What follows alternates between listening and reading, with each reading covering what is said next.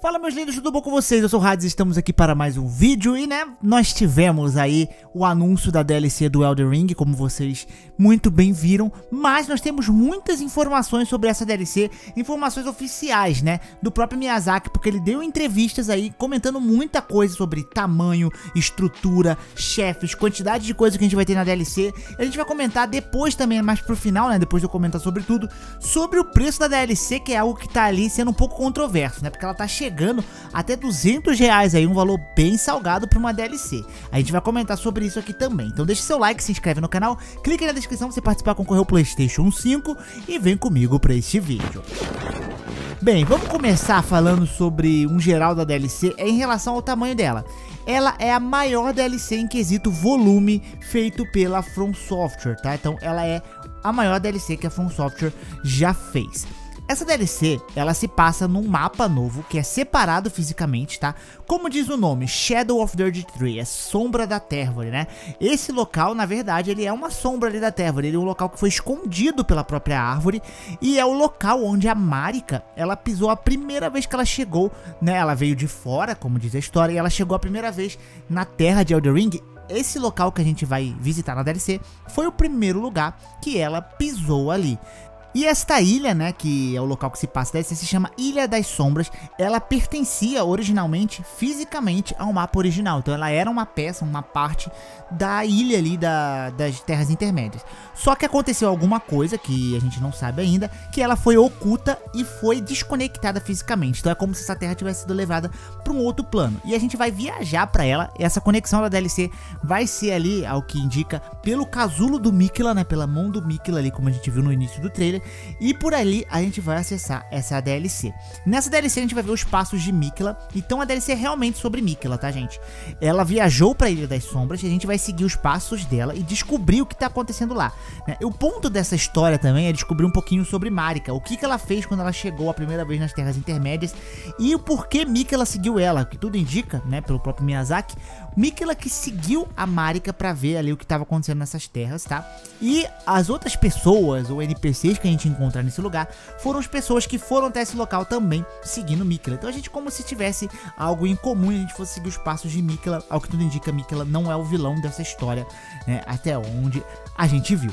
A história dessa DLC, o Miyazaki deixou claro que ela também não foi 100% escrita pela From Software. Ela já é um mito que foi criado junto com a concepção do Elder Ring pelo George R. R. Martin, tá? Então é como se assim, o George R. R. Martin ele criou o mito por trás de Elder Ring e a From Software desenvolveu o jogo com base em cima desse mito.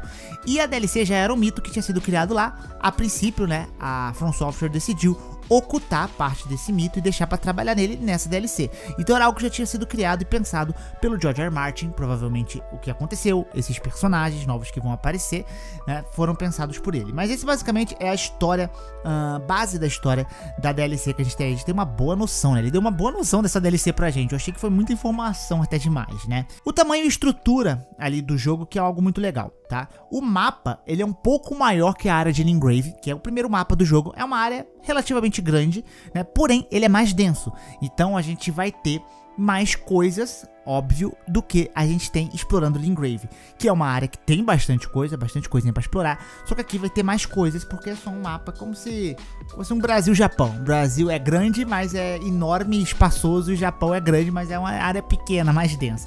É basicamente assim a DLC.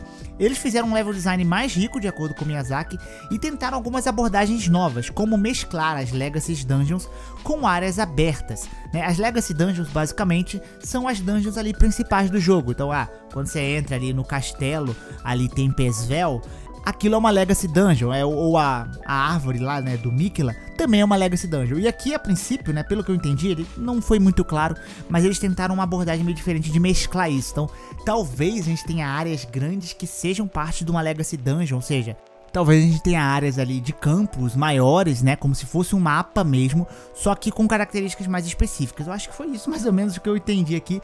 E claro, a gente vai ter a estrutura padrão do mapa também, como as dungeons mais padrão, inimigos, etc. Algo que a gente já tem ali, né? Mas basicamente o mapa é desse tamanho, então a gente já tem uma noção de tamanho e conteúdo do jogo.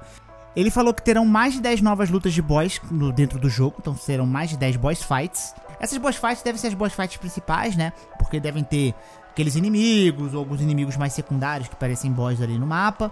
Né? Vamos ter novas armas e magias, mas uma coisa que me chamou muita atenção, que eu espero que não tenha sido um erro de tradução, é que existem oito novas categorias de armas criadas. Isso é muito legal, oito categorias, não são oito armas, tá gente? Então, oito tipos de armas diferentes.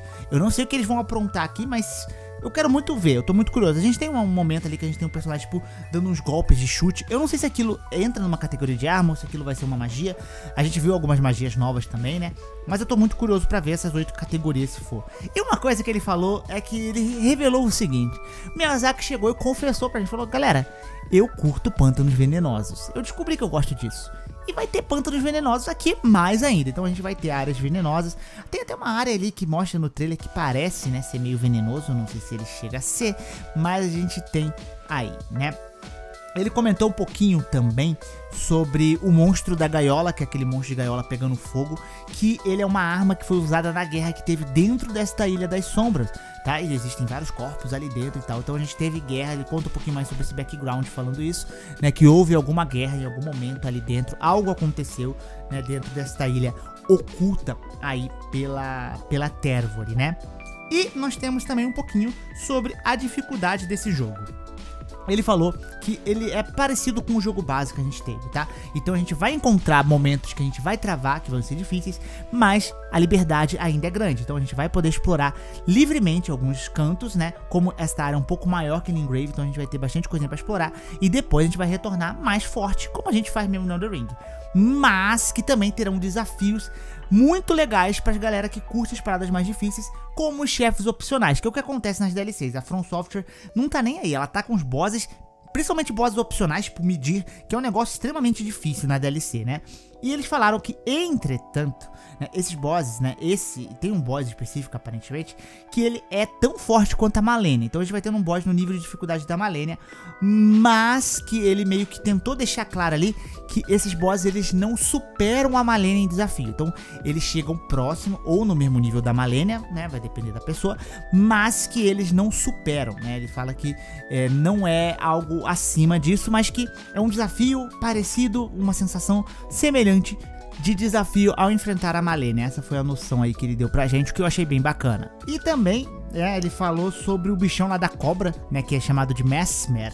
Ele é a figura central da DLC, né, ele é até a capa da DLC, e ele tá sentado num trono, ele falou que esse trono que o Mesmer tá sentado é igual o trono que a gente vê na sala lá quando a gente enfrenta o Morgoth, né. Então, ou seja, o Mesmer, ele já foi uma figura que já foi de igual para igual, ou até já foi um semideus, né? E na DLC, basicamente, a gente vai descobrir o porquê que esse cara foi oculto e nunca mencionado, né, e por que que ele existe nessa Ilha das Sombras. Ele até fala, né, mãe, você vai deixar essa criatura assim, luz, ser um lorde. Então ele pode ser, inclusive, até filho de Marika ali, né? Ele pode de fato ser um semideus, que foi até o que eu já tava teorizando ali. E com essa afirmação a gente sabe que ele pelo menos foi alguém nível e que já sentou ao lado, pelo menos, desses semideuses. Mas, né? alguma coisa ali aconteceu com ele e a gente vai descobrir na DLC.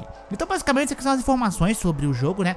O que, que vem de novo, quantidade de chefes, tamanho, a gente já tem uma boa noção, né? É a maior DLC da From Software. Agora vamos falar de algo, né? Meio. É, polêmicos, né? Eu tô me sentindo aqueles caras que apresentam um produto, né? E aí, quando é a hora da facada. Depois você fala, ó, oh, que produto maravilhoso. Aí chega a hora do preço, que é a facada. e é quase isso. Porque a DLC tá custando na Steam 150 reais e nos consoles ela chega a 200 reais. É, existe a versão base da DLC e a versão deluxe. A versão deluxe da DLC é igual o The Ring base deluxe. É um tipo um uma, uma trilha sonora que você tem e um artbook digital. Então, assim, definitivamente não vale a pena, a não ser que você goste de colecionar mesmo e você tem um dinheirinho sobrando, porque, né, se você for pegar a versão mais básica, você não vai perder nada ali, basicamente, né? Mas ainda assim é um valor bem caro, ela tá saindo pelo valor de 40 dólares. É o preço de algumas DLCs, algumas DLCs chegam a esse preço. E o que eu falei do preço dessa DLC, ele tá mais ou menos dentro do padrão, ela poderia, claro, ser mais barata, assim, no meu ponto de vista, mas tudo vai depender da quantidade de conteúdo conteúdo que a gente vai ter aqui dentro, né? Ao que mostra aqui, parece que a gente vai ter bastante coisa, né? Mas vai depender muito, né? Porque, por exemplo, essa DLC, ela tem que ser maior que uma DLC de, de Bloodborne. Ela tem que ter mais conteúdo que ele. Tem que ser maior, pra valer esse valor pra mim, né? Então, eu espero que seja uma DLC que dure bons tempos, muita coisa para explorar, muita coisa para descobrir, né? Que seja um baita de um conteúdo para justificar esse valor, né? Ao que tudo indica, parece que vamos ter aí sim bons conteúdos, bastante coisa, mas eu concordo que o preço dela ficou meio salgado. Eu tava ali cogitando que ela sairia na casa dos 30 dólares, talvez. 20 sendo muito otimista, mas ela veio nos 40, né? E convertendo para cá nos consoles acabou ficando bem mais caro. Mas vamos ver como é que tá aí, né? Você vai pegar a DLC agora aí? Você achou que tá muito caro? Deixa aqui nos comentários, né? É a triste realidade, inclusive, do brasileiro também, porque converter né, é um negócio surreal ainda, né? Mas acho que tudo vai depender aí do conteúdo, né? Porque 40 dólares tem que ser pelo menos um conteúdo ali, uma quantidade de conteúdo, sei lá, de metade, um pouco mais da metade, talvez, que a gente tem no The Ring, né? Talvez metade ali, né? Que possa talvez justificar, não sei, né? Mas vamos ver como é que vai ser a quantidade de conteúdo dessa DLC. Mas enfim, eu tô bem animado pra DLC de The Ring. E amanhã nós teremos alguns videozinhos, né? Vendo detalhes do trailer, etc. Que a gente vai comentar, conversar um pouquinho sobre isso. Mas é isso, espero que você gostado desse vídeo. Um grande beijo, um grande abraço, um beijo, até a próxima e tchau, tchau!